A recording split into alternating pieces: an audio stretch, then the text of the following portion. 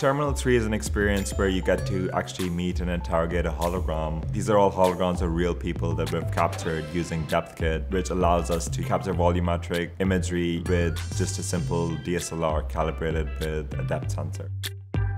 It's really important to create a sense of presence, and it's really important to have that sense of presence that the subject takes up space. And for it to take up space, it, it just has to have volume, it has to be 3D.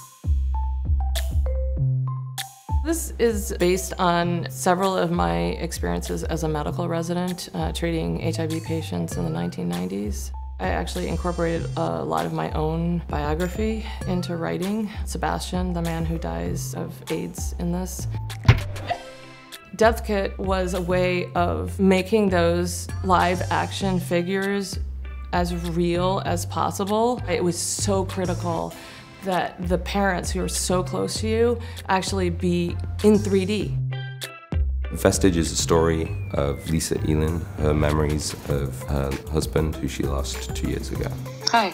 I speak very highly of the, the DepthKit crew because I want to make a certain kind of story and then what's the technology that I want to use to tell that. DepthKit stood out just because it was so simple and easy to experiment with it, like iterate on it really quickly was kind of a key part of it. I don't come from a tech background.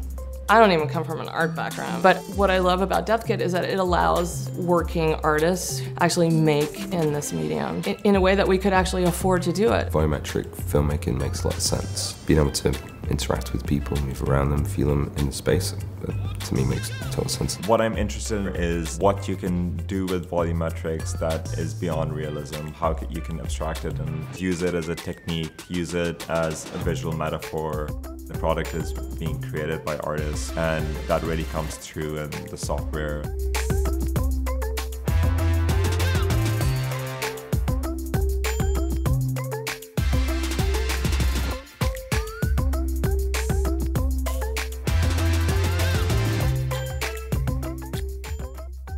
Hey everyone, thanks for watching this video. If you liked it and haven't seen any of our other videos, subscribe to the Intel Software YouTube channel. You can also connect with other developers and enthusiasts in the comments, and we'll see you all next time.